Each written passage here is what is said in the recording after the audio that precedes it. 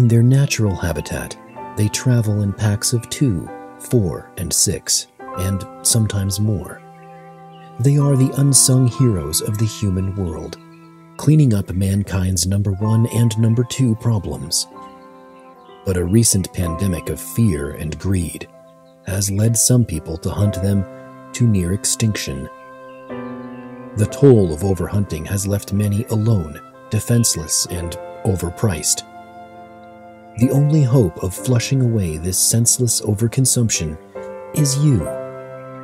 Let's wipe away the misinformation fueling this issue so that these poor creatures can repopulate and continue to help humanity deal with all its crap.